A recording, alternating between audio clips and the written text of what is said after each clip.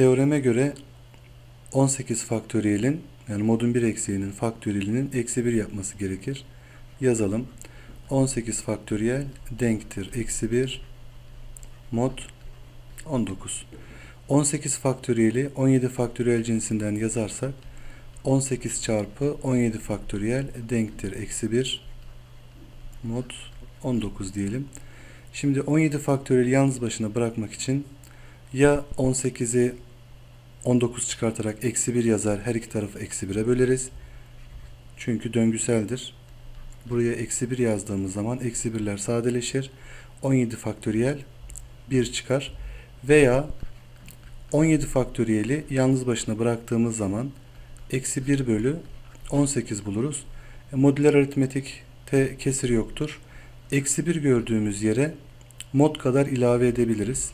Dolayısıyla 18 olur. 18 bölü 18'den yine 1 gelir. Buna göre doğru cevabımız B seçeneğidir.